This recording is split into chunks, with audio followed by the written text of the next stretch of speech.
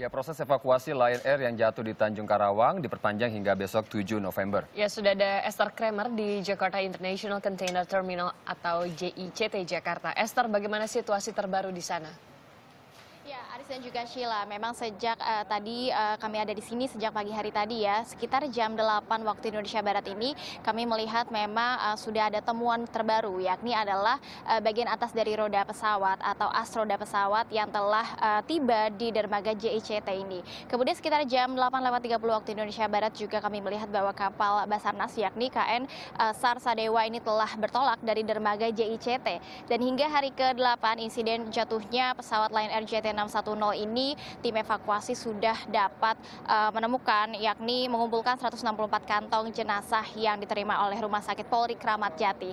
Kemudian juga sudah ada 27 jenazah yang berhasil diidentifikasi oleh tim DVI. Dari total adalah 189 manifest penumpang Lion Air JT uh, 610. Dan operasi evakuasi uh, Lion Air JT 610 uh, diperpanjang hingga esok hari yakni adalah 7 November 2018 dan uh, masa operasi yang diperpanjang ini diharapkan uh, penemuan atau juga kegiatan dari search and rescue atau SAR ini dapat uh, membuahkan hasil yang maksimal. Dan uh, hingga besok juga pencarian akan difokuskan kepada evakuasi korban dan juga terhadap pencarian dari salah satu bagian black box yakni adalah CVR atau cockpit uh, voice recorder.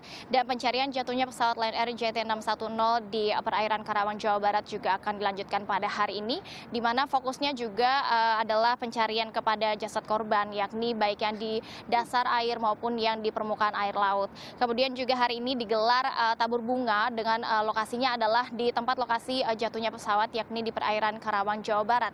Sebenarnya ini beberapa keluarga sempat uh, melakukan penolakan ya terhadap prosesi tabur bunga ini, karena uh, kemarin sempat disampaikan disampaikan juga dari pihak keluarga ketika ada pertemuan antara pihak keluarga korban dengan uh, pihak dari tim SAR gabungan uh, yang menyatakan bahwa pihak keluarga yang merasa keberatan ini karena uh, menilai bahwa keluarga mereka yang menjadi korban ini uh, berharap uh, masih dapat teridentifikasi. Sementara itu sejak jam 7 pagi tadi ini ratusan orang yang merupakan keluarga dari uh, korban jatuhnya pesawat Lion Air JT 610 ini berkumpul di uh, Kolin Lamil Tanjung Priok Jakarta untuk berangkat ke Karawang uh, Jawa Barat ini untuk untuk uh, mengikuti prosesi tabur bunga dan juga memanjatkan doa.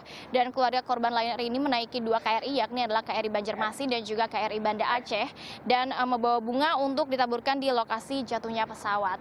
Kemudian setelah uh, prosesi tabur bunga ini akan dilanjutkan dengan prosesi evakuasi khususnya ini untuk pencarian korban.